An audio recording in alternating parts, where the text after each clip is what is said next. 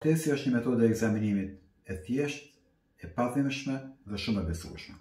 Bëhet gjatë cilit do ekzaminim rutinor gjinekologjik dhe është metoda më e mirë për zbulimin e ndryshimeve të hershme të cilat shfaqen në qafën e mitrës.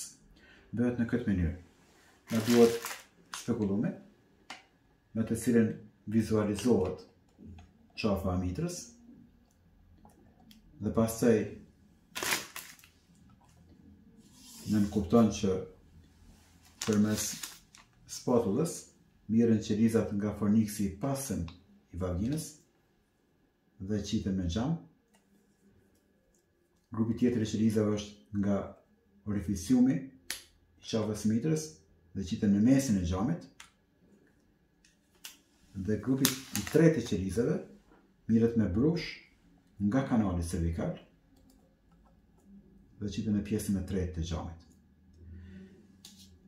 Është me rëndësi që radhitja e qelizave të jetë korrekte, mënyrë që anatomopatologu ose citologu i cili e kontrollon pap testin, ta dijë saksisht se qelizat në cilën pjesë të xhamit janë, dhe e dyta, Një grua e cila e bën pap testin nuk ndjen dhimbje.